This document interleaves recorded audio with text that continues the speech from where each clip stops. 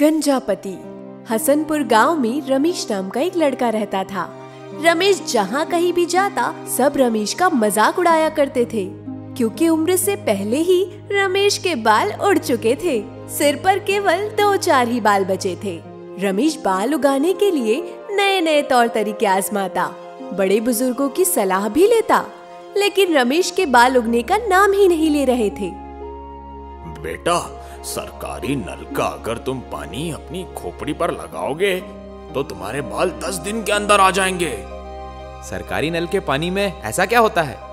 सिर्फ़ सरकारी नल के पानी से काम नहीं चलेगा उसके साथ तुम्हें अदरक को भी अपनी खोपड़ी पर लगाना होगा और फिर उस सरकारी नल के नीचे जाकर अपना सिर धोना होगा। देखना दस दिन में तुम्हारे बाल उगने लगेंगे।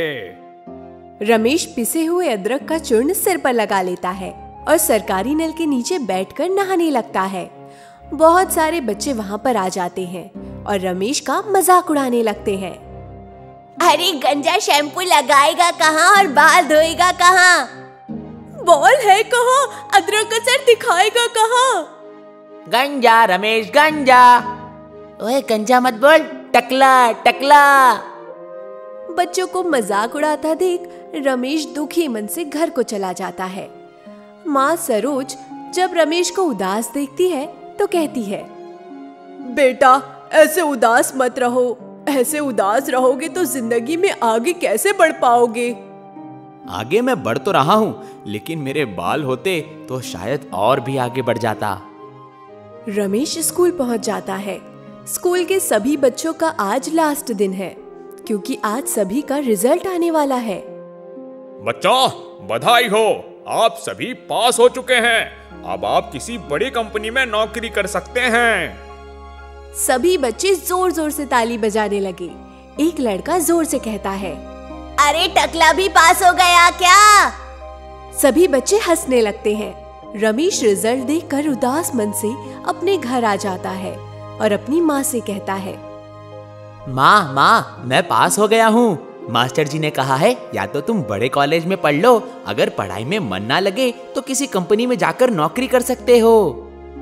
बेटा अभी पढ़ ले तेरी पढ़ने की उम्र है नौकरी बाद में कर लेना.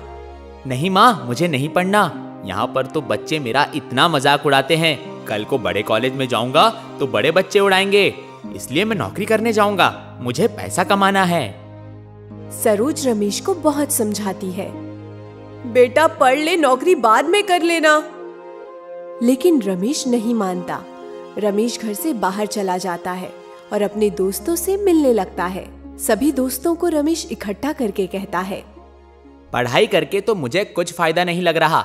हमें सरकारी नौकरी भी नहीं करनी है। इससे अच्छा हम शहर में जाकर प्राइवेट कंपनी में कहीं नौकरी कर ले तो अच्छा रहेगा। बात तो तेरी सही है। हाँ यार सरकारी नौकरी में भी अब कुछ नहीं रखा है।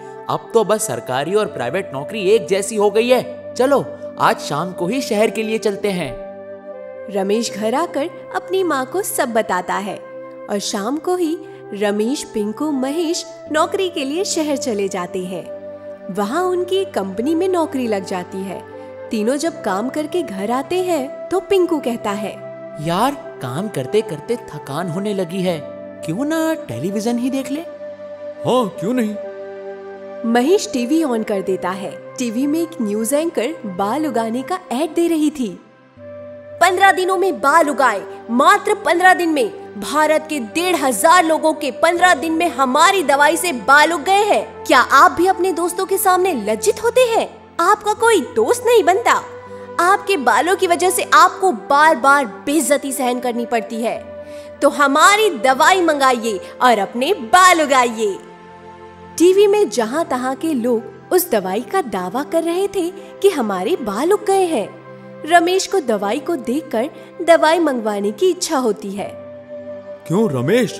दवाई नहीं मंगवाएगा क्या? यार इच्छा तो है मंगवाने की। क्या करें? अरे जब इतना सब ट्राई कर लिया है ज़िंदगी में तो एक बार और सही। हो सकता है इस दवाई से तेरे बाल आ जाए। सोच अगर बाल आ जाए तो जब तू गाँव में जाएगा तेरी माँ कितनी खुश हो जाएगी।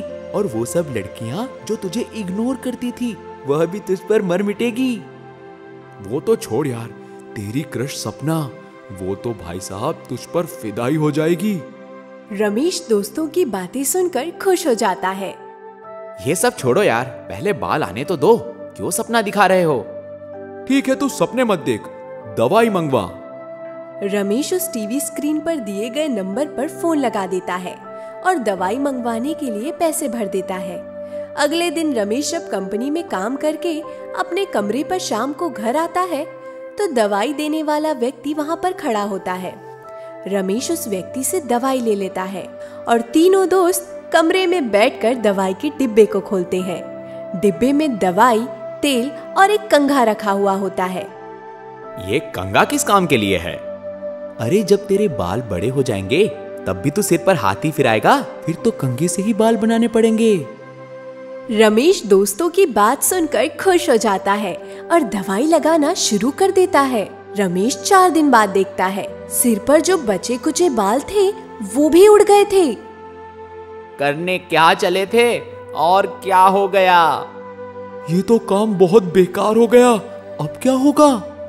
कोई बात नहीं रमेश हमारा दोस्त है हम इसे दुखी नहीं होने देंगे। महेश पिंकू और रमेश एक बड़े हॉस्पिटल में जाते हैं और डॉक्टर से बातचीत करते हैं। डॉक्टर साहब दुनिया में ऐसा कोई नुस्खा नहीं। ऐसी कोई दवाई नहीं है जो मैंने ना लगाई हो लेकिन मेरे बाल आ ही नहीं रहे। मैं क्या करूँ? कोई बात नहीं नकली बाल लगवा लो। दिखने में बिल्कुल आपके सर के बाल जैसे ही लगेंगे लेकिन कोई पकड़ कर खींच ना दे। ठीक है डॉक्टर साहब। डॉक्टर रमेश के सिर का नाप लेकर बाल तैयार कर देता है। अगले दिन रमेश बाल लगवाकर ऑफ़िस जाता है। सभी रमेश को देखकर हैरान हो जाते हैं कि ऐसी कौन सी दवाई है? रमेश सभी को टीवी पर आने वाली दवाई के बारे में बता देता है, जिससे उसके रातों रात बाल उगाए। रमेश जब गाँव जाता है, सभी गाँव वाले हैरान हो जाते हैं। रमेश की माँ रमेश का विवाह कोमल नाम की एक लड़की से करा देती है। कोमल को गंजे लड़के बिल्कुल भी पसंद नहीं थे। ये बात कोमल को पता नहीं थी कि रमेश गंजा है और उसने नकली बाल लगवाए हैं। लेकिन जब कुछ दिनों बाद रमेश काम के लिए कोमल को घर छोड़कर शहर चला जाता है, तब एक बूढ़ी औरत रमेश के घर आकर रमेश की सारी सच्चाई कोमल को बता देती है। पता नहीं पहले तो ये गंजा था, लेकिन मेरा पोता भी इसी के साथ काम करता है। वो कह रहा था, अपने सर पर नकली बाल लगवाए हैं इसने। ये आप क्या कह रही हैं? मुझे तो गंजे आदमी बिल्कुल भी पसंद नहीं। कोमल गुस्से में लाल हो जाती है और फ़ोन पर रमेश से घर आने के लिए कहती है। रमेश घर आ जाता है। दोनों में झगड़ा शुरू हो जाता है। कोमल रमेश के बाल पकड़कर खींच देती है और रमेश के बाल एक साथ उखड़कर कोमल के हाथ में आ जाते हैं। पागल हो क्या? तुमने मेरे बाल क्यों खींचे? जब तुम पहले ही गंजे हो तो इसमें बाल उखाड़ने की बात कहाँ से आ गई? तुम्हें पता है मुझे गंजे लड़कों से बहुत नफरत है। मुझे नहीं रहना तुम्हारे साथ मैं जा रही हूँ। कोमल रमेश को छोड़कर अपने घर चली जाती है। कोमल को गाँव की सारी औरतें समझाती है। कोमल ये बात तो तेरी बहुत गलत है। सिर पर बाल होना ज़रूरी नहीं। बुढ़ापे में भी तो बाल उड़ जाते हैं। तुझे पता है, आजकल के लड़के कितनी गंदी आदतों में पड़ गए हैं। अरे, जिससे हमने तेरी शादी कराई है, वो तो कुछ खाता पीता भी नहीं है। तू अपने भैया को देख ले। तेरी भाभी को कितना मारता है। तुझे तो आज तक रमेश ने हाथ भी नहीं लगाया। मैं पति के हाथों रोज पिट जाऊँगी, लेकिन मुझे अपने पति के सिर पर बाल चाहिए तो चाहिए। मैं गंजे आदमी के साथ नहीं रह सकती। उधर रमेश अपने कंपनी में काम कर रहा था। रमेश देखता है कि एक छोटी बच्ची, कि एक छोटी बच्ची केमिकल के टैंक में गिर जाती है। कोई भी उस केमिकल भरे टैंक में जाकर लड़की को बाहर निकालने के लिए तैयार नहीं होता, क्योंकि केमिकल के टैंक में जाने से बालों के खराब हो जाने का डर था। मेरे सिर पर बाल वैसे भी नहीं है। कोमल भी छोड़कर चली गई है। अब वह वापस आने वाली भी नहीं। शरीर के बालों का भी क्या फ़ायदा? इससे अच्छा इस लड़की को ही बचा लूँ तो इसे नई ज़िंदगी मिल जाएगी। रमेश लड़की को बचा लेता है। बाद में पता चलता है कि वो लड़की कंपनी के चेयरमैन की पोती थी। तुमने बहुत अच्छा किया। यह मेरी इकलौती पोती है। इसे अगर कुछ हो जाता तो मैं कभी भी अपने आप को माफ़ नहीं कर पाता। आज से तुम इस फैक्ट्री के मैनेजर और सारा कारोबार अब से तुम ही देखोगे। मुझे बस हफ़्ते में एक बार फैक्ट्री का लेखा जोखा दिखा दिया करना। ठीक है सर। ये बात जब कोमल को पता लगती है तो उसे अपनी गलती का एहसास होता है कि उसने किसे छोड़ दिया है। कोमल समझ चुकी थी कि बालों का होना ज़रूरी नहीं अच्छे व्यवहार का होना ज़रूरी है। इसलिए कोमल वापस रमेश के घर आ जाती है अपनी गलती मानती है और खुशी खुशी रमेश के साथ रहने लगती है। कोमल पहले तो मेरे शरीर पर भी बाल थे, लेकिन अब वो भी चले गए।